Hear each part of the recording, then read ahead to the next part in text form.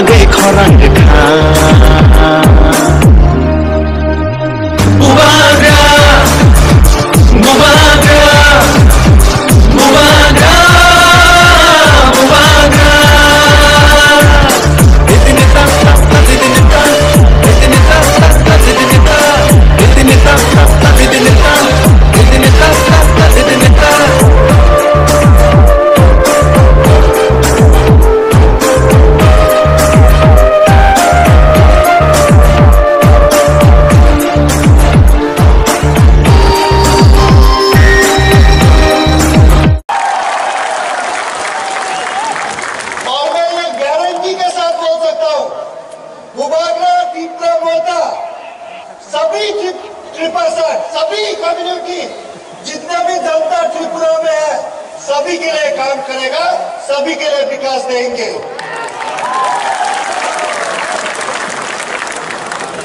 आप लोग हर समय लास्ट कितना साल से देख रहे हैं नेशनल पार्टी आप क्या चाहता है कि त्रिपुरा दिल्ली से चलाए? आप चाहता है कि त्रिपुरा कोलकाता, बिहार से चलाए? तक चाहता है? अगर त्रिपुरा चलाना है तो त्रिपुरा का ही पार्टी एक रीजनल घर का पार्टी, जो आप लोग के लिए प्यार करता आप लोग का इश्यूज़ ले सकता है। वो पार्टी चलाना चाहिए। मैंने मैंने इंडिया के लिए 16 साल फुटबॉल खेला हूँ। 11 साल तो मैंने कैप्टन किया हूँ। और मैं बहुत गौरव हूँ, मैं प्राउड एक इंडियन हूँ। ये हम प्राउड के साथ बोल सकते हैं हम इंडियन हूँ। साथ साथ हम एक प्राउड नॉर्थ ईस्टर्न भी हूँ। उसके बाद उसके बाद हम एक प्राउड ट्राइबल आदमी भी हूँ और सिक्किमीज भी हूँ। तो इसीलिए ट्राइबल लोग एक सच्चा ईमानदार के साथ वो लोग काम करता है। तो इसीलिए 2023 में 2023 में आप लोग असल परिवर्तन लेके आना चाहिए।